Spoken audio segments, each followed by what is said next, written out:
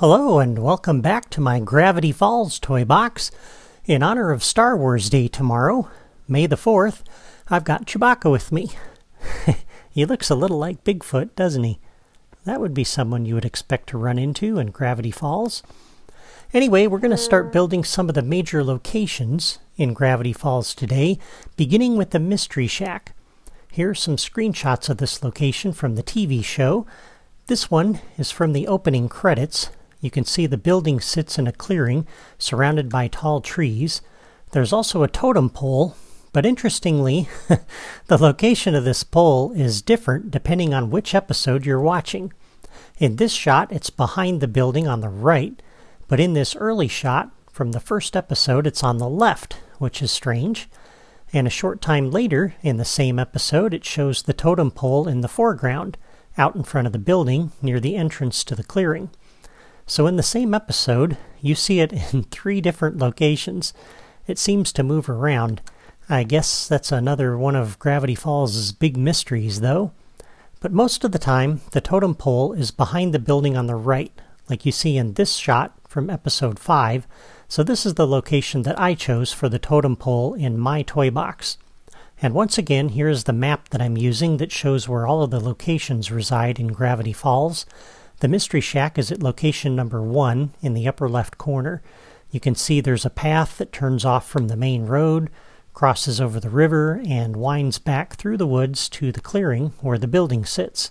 So this is what I'm going to build today.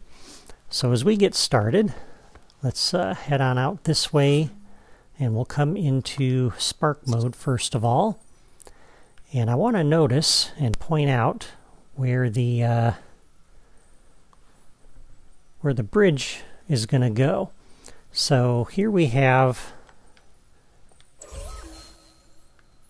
one block for the river and a second one that leads us up to the edge of this terrain seam right here.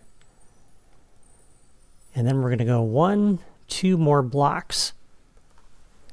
And so what we're going to do is straddle this seam. All right. So the seam after the fourth block.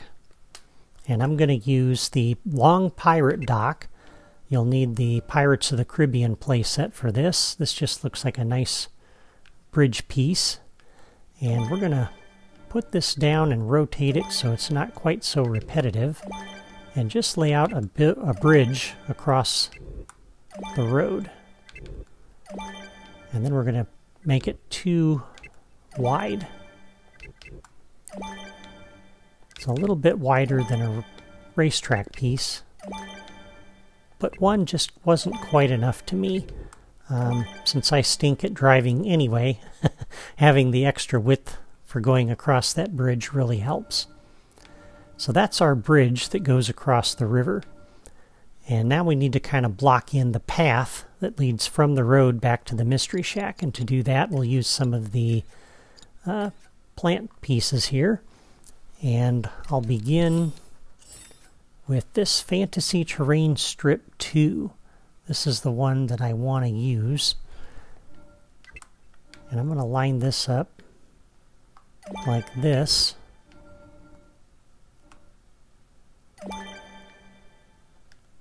And I'll style all of these a little bit later.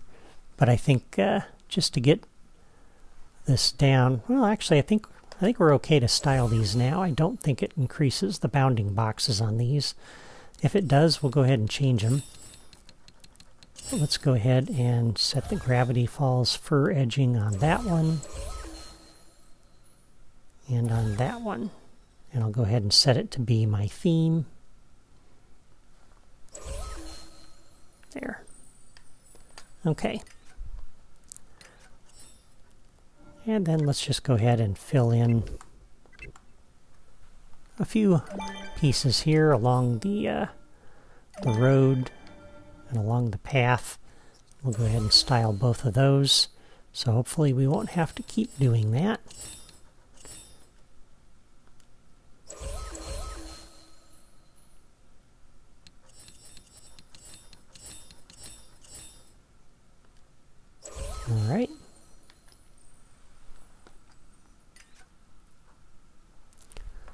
Okay, and then we'll go ahead and put down a couple of more of these. Put one in here about like that, I guess. One in here like this. Yeah, see, that'll butt right up against it, so we're okay. I'm going to put down one of these right about here. And we'll go ahead and style that, although we're not going to use too many of these. This is the uh, fallen log. And while we're right here, let's go ahead and put the uh, sign leading in here to the entrance of Gravity Falls. And you'll find that uh, under Building Sets Group 7, assuming you've unlocked all of these pieces or purchased them from the toy store. And again, you need the uh, Toy Box Speedway game to unlock these. Most of these.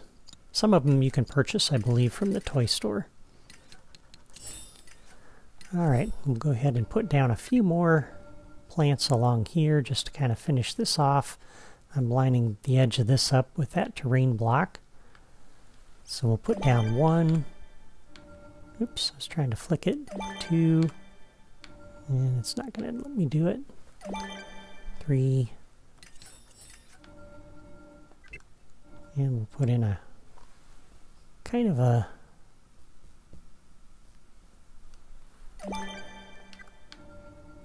little section of woods right up here like that just for something interesting. So that just kind of looks like a nice scenic overlook there since you got the waterfall. So I like that.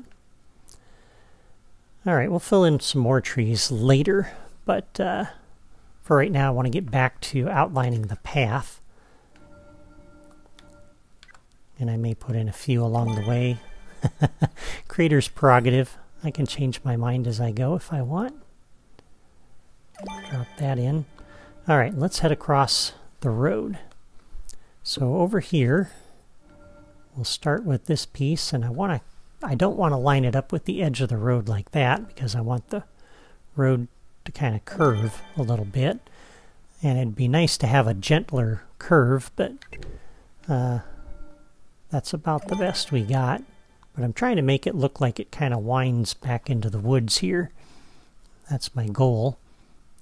And uh, let's see. Sorry about this. Just trying to grab my screenshot here. All right. Put this one up like that. We're going to put another one here like this. Uh, actually, this one kind of line it up against that like so. And I'm mainly focusing again on outlining the path here, heading back to the Mystery Shack and the clearing around the Mystery Shack. So probably the best thing to do with this would just be to continue going around the clearing in a clockwise direction. And this one, nope, we're going to use this one. So I'm going to line this up with that piece there, like that.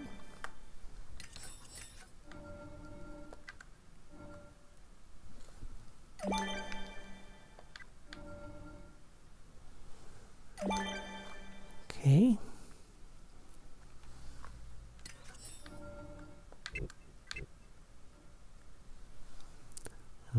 One in like this.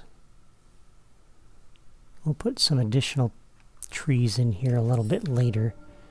Sorry for the slight pauses. I'm kind of scrolling my screenshots here as I speak. Trying to make sure I got the uh, screenshots going. So I've kind of taken a bunch of them around the perimeter of this just so I could uh, recreate this for you. This one will set to be Gravity Falls Grove, and again I'll set that to be my theme. And because we got some gaps in here between these pieces, we'll fit in some other pieces behind that. And since I'm talking about it, let's just go ahead and do that now.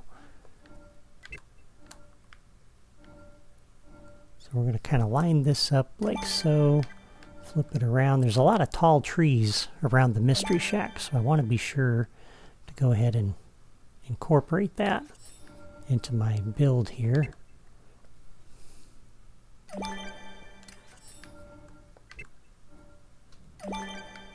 Just so we have lots of tall trees around it. And we can put one back here as well.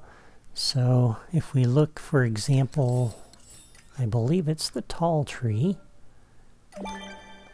This one's going to be another tall tree that you can actually drive through. And just because I want to kind of hide that little tunnel in the tree, we'll go ahead and pick it up and rotate it. So it's not quite as visible. That way it just looks like a tall tree. Oh, I got to upgrade Chewy. Nice. I haven't done that yet.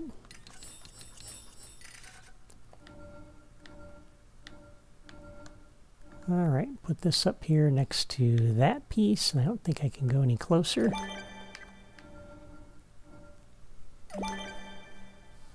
So go like that.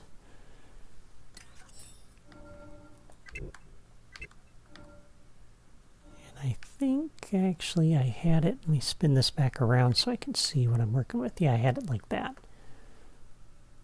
So just to make sure I got that right. Yeah.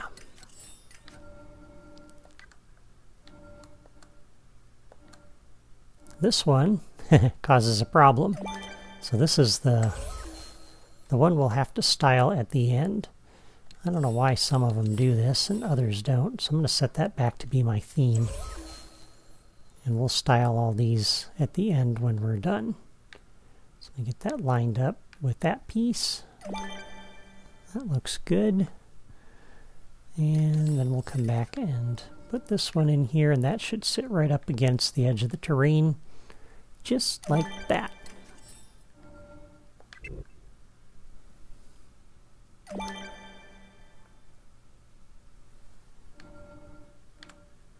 Okay, I'll put another one of these here, one of these here.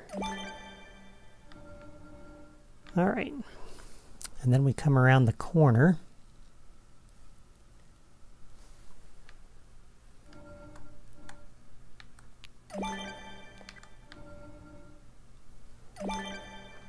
This isn't all that exciting, I know, but I'm not going to make you watch me put in all of these trees, but I am going to put in the ones that kind of determine where the uh, outline is for the clearing here, because this is kind of important. You want to make sure you have enough space for the Ferris wheel and all of the rides that we're going to put in. Just want to make sure we have room for all of that.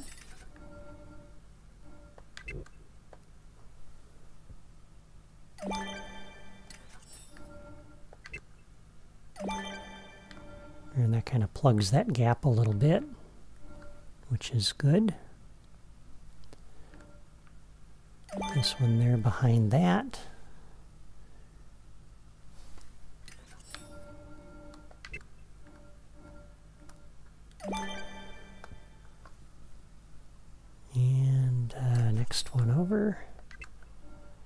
This one I'm going to put it back just a little bit. You don't want to necessarily make this so repetitive that uh,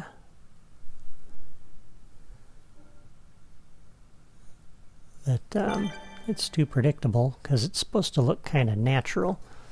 So I want to make sure I do that. So once again, we'll kind of put that one back a little bit.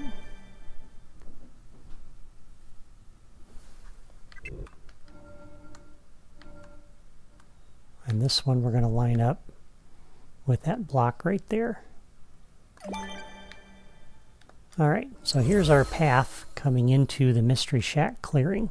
So it comes through here, across the bridge, around the path, and then the building sits here, and we got a clearing over here for all of the fair activities. And it looks kind of big, but uh, can't really be helped. Um, in order to actually build what you see in the fair from the TV show, you kind of have to have all that space. So there's not really any way around that. Alright, so now for the Mystery Shack itself. And let me pull up that building shot. Here we go. Okay, so once again, you're going to find that up under building set, building sets group 7, the Mystery Shack. And we're going to put this in here as close as we can get to that edge without bumping into those trees. And we want uh, Mystery Shack sign to be facing this way towards the road. And actually that means we can back this up just a little bit further. And I want to bring this over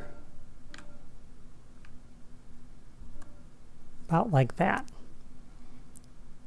So kind of look at where that corner is that's on the front right now on our view.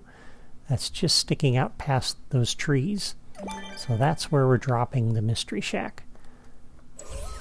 And I guess the exact placement of that doesn't really matter, except you kind of want to see that as you come through, as you're driving in. So if you put it too far to the right, you're not going to see the Mystery Shack sign at the top. Alright, and then the totem pole will sit back here.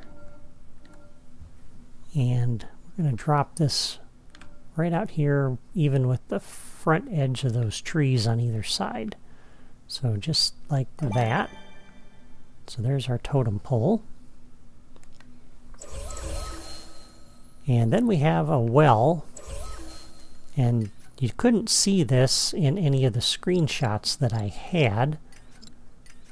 But there are some shots where you can see it. And you can find a well up under the Gameplay Toys drawer if you have the Brave Forest Siege game.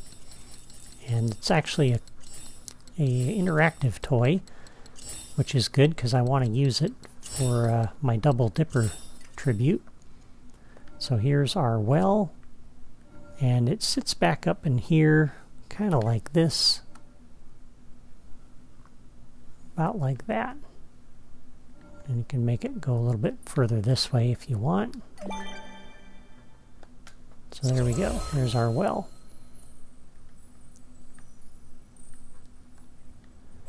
Okay. And uh, I think at this point, I'm going to go offline and add a few more trees just to fill this area in. And then I'll be back and I'll just kind of show you my placement for these.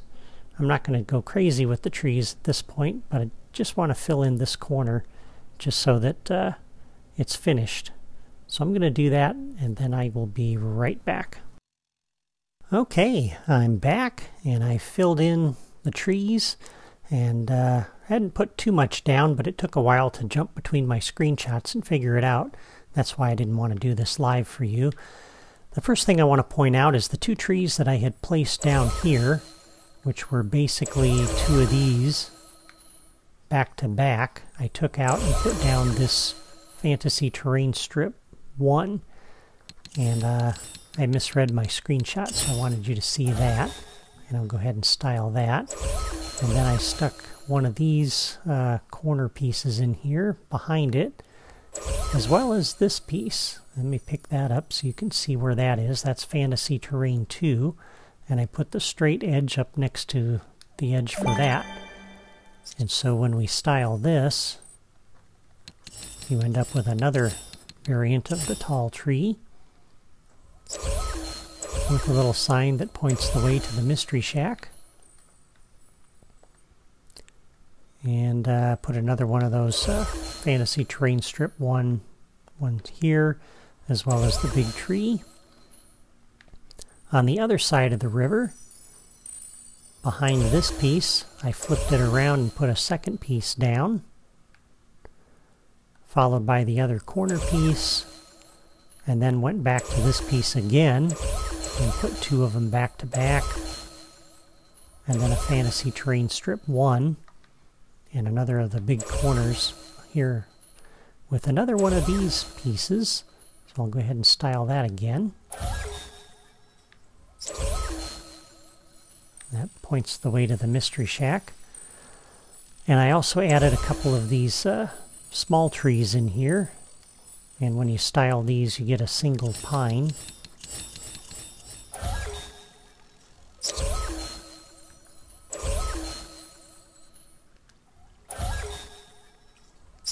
like that. And as far as the other trees here, I haven't added too much. Um, I added uh, those two single trees that I just styled. And then I added another one of these lined up like so. And flipped it around and put another one down and then another big tree. So it's not too much. Um, and again, the exact placement of those doesn't really matter. I'm just filling it in, but I don't want to fill it in completely because we don't have memory enough for that. Plus, you want to give the player room to be able to run in through here, through the trees, and not get bogged down. So uh, that way they have some, some places to run and explore. Oh, and on this side, I moved this tree. This was lined up with the right edge of this piece, and I slid it over about halfway and slid this one halfway, which kind of filled the gap in here that was between this piece and this piece. So now we have some trees behind there. And then I put another one of those uh, single tree pieces in there. But there we go. That's the Mystery Shack and the clearing for it. And the road leading up to it. Well, I think this is a good stopping point for today. Next time we'll build the town and add most of the remaining buildings. Until then, thank you for watching. I hope you're enjoying this series so far, or at least finding it helpful. As I mentioned in episode 2, it isn't easy figuring out how to build this setting and where to place all the buildings with respect to each other, so hopefully this helps you out. Even if you choose to build your own games and adventures instead of mine, at least you'll be able to recreate this setting. Before you go, please hit the like button and leave a comment to let me know what you think of my toy box build so far, and subscribe to my channel so you don't miss any of my toy box projects. That's all for me today. See you next time.